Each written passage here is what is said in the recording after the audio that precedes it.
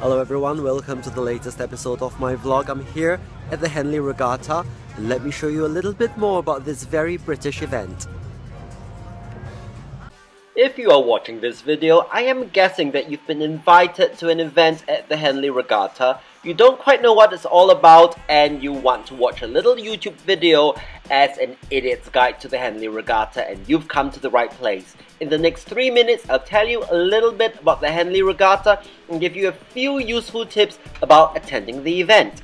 The Royal Henley Regatta was first established in 1839 here in the town of Henley-on-Thames. It is about 37 kilometers to the southeast of Oxford and 60 kilometers to the west of central London. It is normally a quiet, quaint and picturesque little English town, but for one week a year in the summer, thousands of visitors descend upon Henley-on-Thames for the Henley Royal Regatta.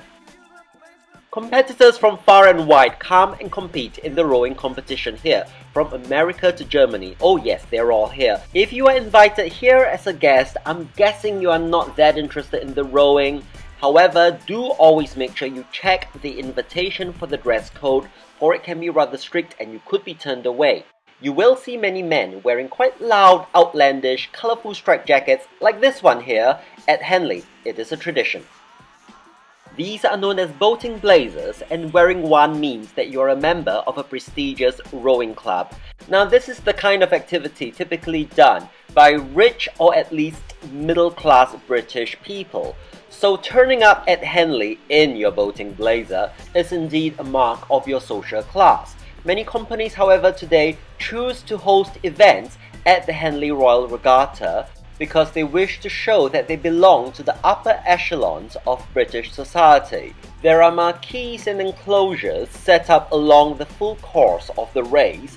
I'm at the Temple Island enclosure, and that's the Temple Island, a small island in the middle of the river which marks the start of the regatta course. So this is typically what a race will look like. You will see two teams competing head to head, whizzing by you on the river, and you have no idea who they are or which team will win, and that's the umpire boat following shortly behind the two teams. If I may be frank, it's a little bit hard to actually follow what the hell is going on, but do make sure you get hold of a copy of the official program if you really want to know. As an invited guest at one of these enclosures, you will be very well fed. There'll be an incredible lunch followed by afternoon tea and an open bar.